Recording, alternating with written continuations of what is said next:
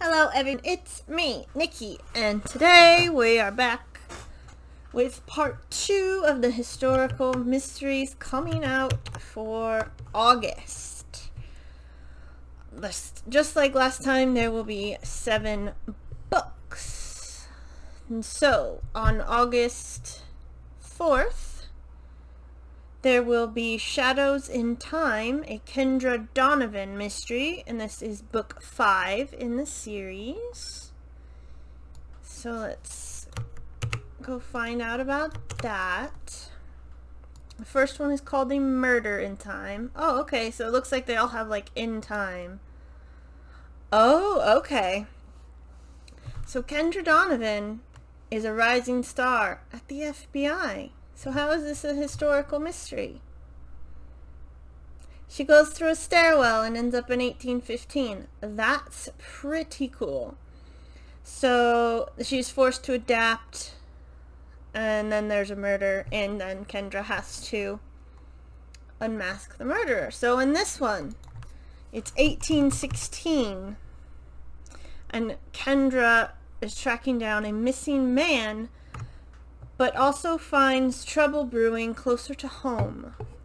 She's approached by Mrs. Gavinston with an unusual request to find her business manager, Jeremy Pascoe, who recently vanished. To Kendra's way of thinking, spending her time locating a missing person suits her more than perfecting her embroidery, painting watercolors, and practicing on the pianoforte or any of the other activities that are socially acceptable for young ladies in the 19, early 19th century. Unfortunately, the missing persons case turns into a murder investigation after Kendra finds the man stabbed to death in a remote cottage. Um, everyone who knew him says that he was a fine fellow. Uh, and then that plunges Kendra into the world of big business as Mrs. Gavinson happens to run one of the largest breweries in England. And if there's one thing Kendra knows hasn't changed, it's that big business means big money, and money is always a motive for murder. And then she shifts, sifts through the truth and lies swirling around Mr. Pascoe's life and death her world is rocked closer when a woman arrives claiming to be the Duke of Aldridge's presumably dead daughter Charlotte. That probably has something to do with the other books. Um, and then there's a killer lurking in the shadows who will do anything to keep the truth from being exposed.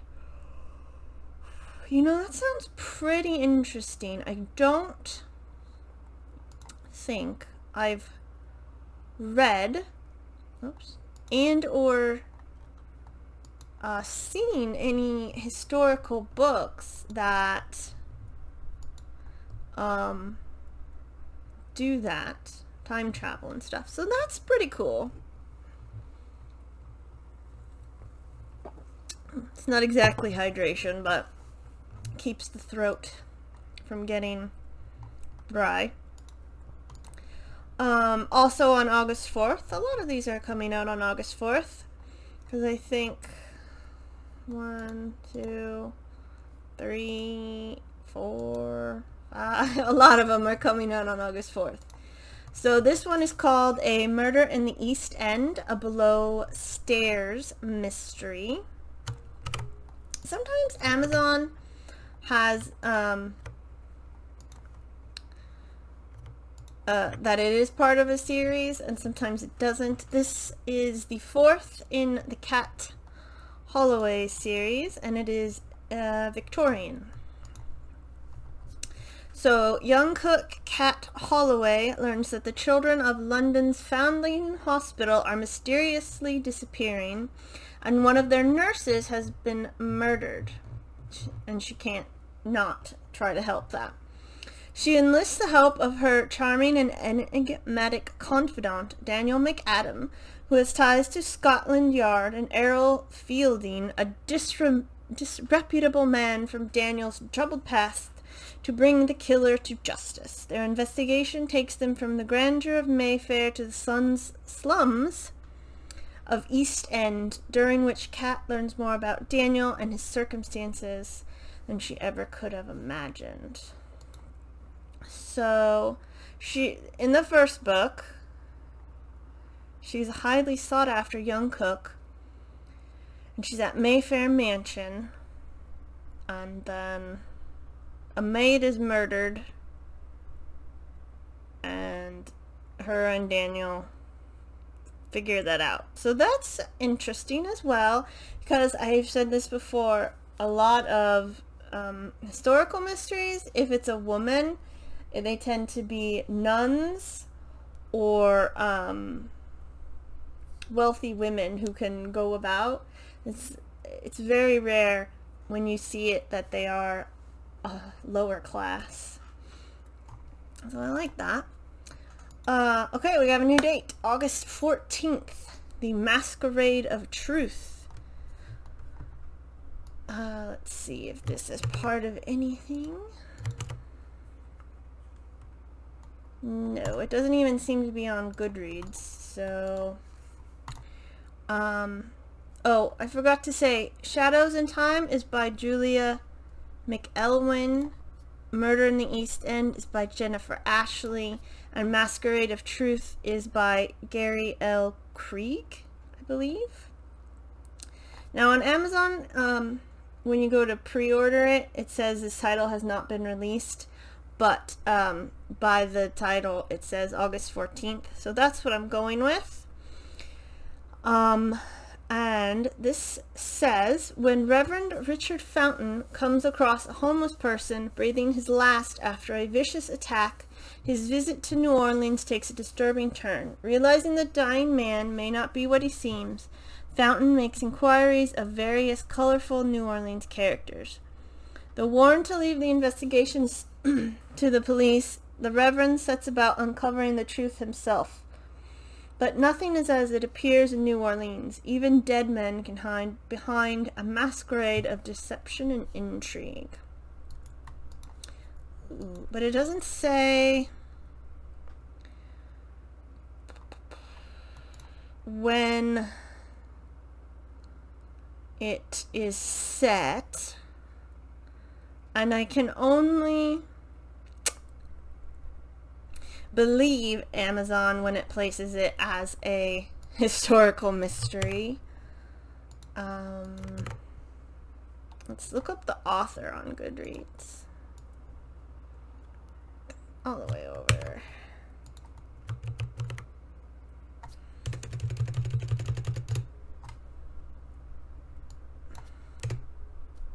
He's got one book. That's not what I wanted sure. Um, yeah, it doesn't say much, so... I mean, it still sounds interesting, but I'm not 100% sure about it. There's not a lot to go on. Okay, on August 18th, we have an old money murder in Mayfair by Sara Rosett. This is book five in the High Society Lady Detective series, like I just said. If Usually if you see women, they are nuns who are considered upper class and rich women who can come and go. So this is in 1923 and we'll look up the first one because that's only fair.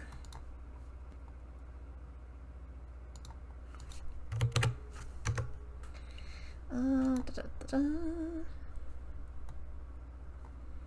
it does that sometimes where it doesn't like give you the first book.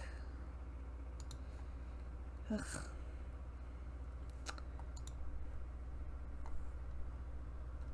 Okay, the first one is called Murder at Archly Manor. And, um, it's about Olive Belgrave. She's the aristocratic upbringing, but penniless. And, yeah.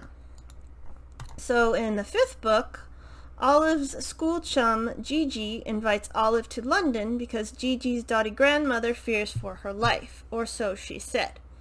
However, Olive is to is surprised to find that the dowager is far from muddled. The sharp and imperious matriarch refuses to admit to her worries and sends Olive on her way. I do enjoy a um, older woman who is pretty much on the ball. Sort of like Miss Marple. That's what I always liked about um, the show and the, the books, is that everybody like dismissed Marple when she was like figuring everything out. Anyway, without a client or a case, Olive is swept into the glittering lifestyle of the fast set and their decadent excess. Oh dear. But then among the cocktails and champagne, a murderer strikes during a frivolous party game, and Olive reveal- realizes the Dowager's fears were well founded. Can she unmask the culprit before the party's over for a bright young person? This sounds interesting. Um, I've, I have read a couple um, in the 1920s about um, murder, but it's not usually like it's not like the bright young people type of stuff. So um, yeah, that sounds really interesting actually. And hopefully the matriarch is as great as I think she is. Ooh, okay, gotta drink something. Someday, I imagine, I will get better at this. Um, okay. The next one uh, on August 25th uh, is called Brazen in Blue by Rachel Miles. It is book five in the Muses Salon series. I was going to say theory, and I'm like, that's not right.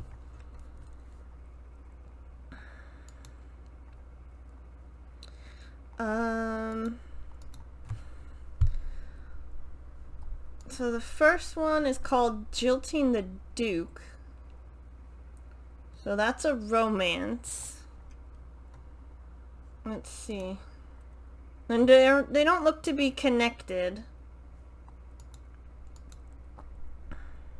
In any way. Uh, where were we? Oops.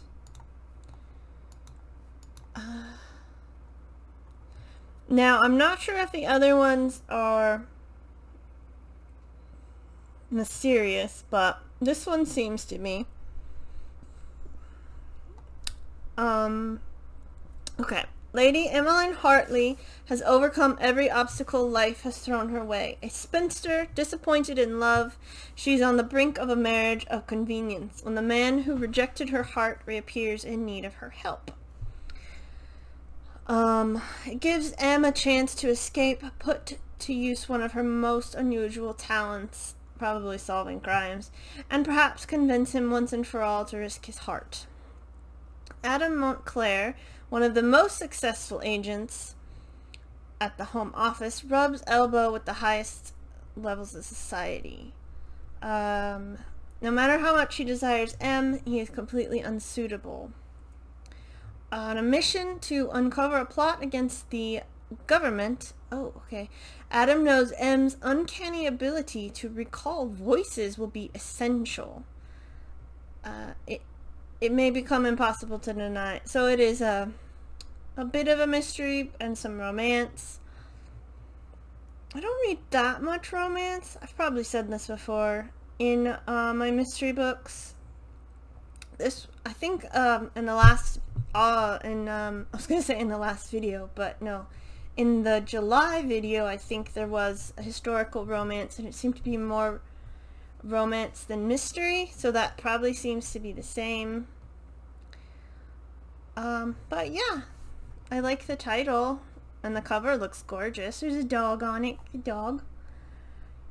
Uh, next, on August did I say? Brazen and Blue is August 25th, if I did not say.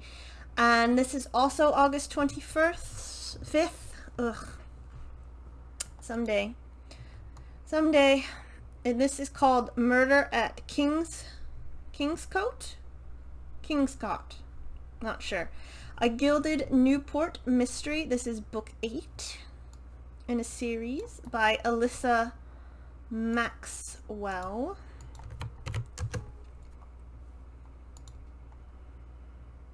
Just looking up the series. So, okay, this is different. Uh, Newport, Rhode Island, 1895.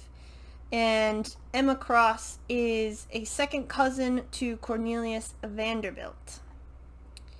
Uh, and then she, in the first one, she witnesses a murder. That's usually how it works. So in this one, it is July 1899. Uh, the salty ocean breeze along Bellevue Avenue carries new smells of gasoline and exhaust as Emma, now editor-in-chief of the Newport Messenger, covers Newport's first ever automobile parade. But the festive atmosphere turns to shock as young Philip King drunkenly swerves his motor car into a wooden figure of a nanny pushing a pram on the obstacle course. Yikes. That evening, uh, at a dinner party hosted by Ella King at her Gothic-inspired cottage, it's in quotes, cottage, Kingscote, Emma and her beau, Derek Andrews, are enjoying food and the company when Ella's son staggers in, obviously still inebriated. But the disruption is nothing compared to the urgent shouts of the coachman. Rushing out, they find the family's butler penned against a tree beneath the front wheels of Philip's motor car, close to death. Yikes. At least if you were drunk, like, on a horse, the horse either stopped or knew to go home. Like, ugh. At first, the tragic tableau appears to be a reckless accident, one which could ruin Philip's reputation. But when Emma later receives a message informing her that the butler bullied his staff and took advantage of young maids, what a pig, she begins to suspect the scene may have been staged and steers the police toward a murder investigation. But while Emma investigates the connection between a competing heir to the King fortune, a mysterious child, an inmate of an insane asylum, and the brutal boxing rings of Providence, a killer remains at large with unfinished business to attend to. I can only imagine the inmate at the insane asylum. That's gonna be yikes because they were pretty bad. And if I've heard they're not that much better nowadays. But I do like that. I don't I'm thinking I think I've maybe read a couple American ones. I think the other ones have been mostly um, British or European.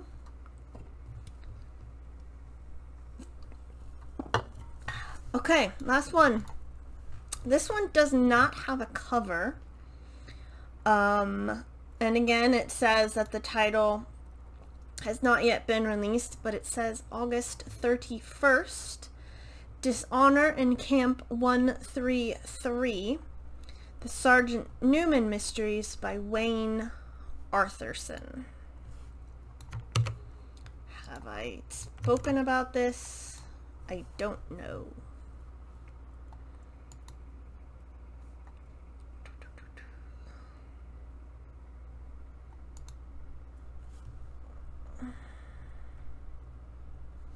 Okay, this is not on Goodreads. So maybe if I just Google it.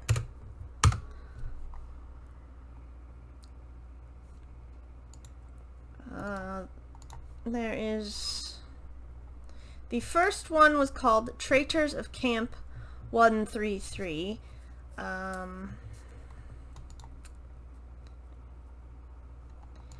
and this seems to be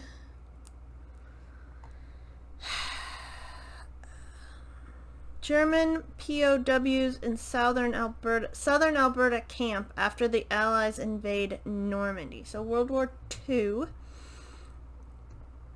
Um, and the first one, Sergeant August Newman uh, doesn't think that somebody hung himself. And so he must be German uh, because he is under the watchful eyes of his Canadian captors. So that's interesting. I don't know how many books there are. Like I've said before, I'm not a huge fan of World War II stuff. Why want this? Just like Ugh, sometimes, you know, they're garbage. the websites are just like, why do you do this to me? Might be the second one. Because it doesn't, there, I don't seem to find anything else. So, uh, until I say otherwise, this is the, until I find out otherwise, this is the second one and um, they they are thousands of miles from the front lines, locked into a Canadian prisoner of war camp at the base of the Canadian Rockies. Uh, for August Newman, head of Camp Civil Security and decorated German war hero, this is reality. Chef Schliepal has been found dead in mess number three, a knife in his back. Now it's up to Newman to find out who what would drive the men of the camp, brothers in arms, to turn on each other. He's learned, of course, that beneath the veneer of duty and honor, the camp is anything but civil. When the trail of clues ends at the edge of the prison yard, Newman must consider the crime bigger than the camp. Is someone getting out of the prison? If so, can he follow? If he can't, he might have to live with the dishonor of Camp 133. So that sounds interesting too. You don't usually see, if it's a World War II novel, you don't usually see them in prison camps or from the German point of view.